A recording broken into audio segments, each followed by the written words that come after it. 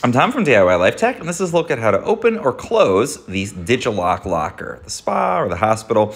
So you're gonna go ahead and put your items in first, then we press the C, then enter a four digit code, and then press the little key. And that's gonna lock it, it'll take a second. You can just test it, make sure it's locked. When we're ready to open, press C again, and then press our four digit code, same code, press that lock. It's gonna open it, wait again, I got about a second, and then you can go ahead and open that door. And that's all there is to it. I'm just gonna run through it again. So we're just gonna remember put items in first, then we're gonna close up the locker, press C. People forget that a lot. Code, something you'll remember.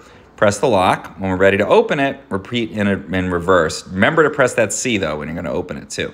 Again, people make that mistake. Enter the code, lock.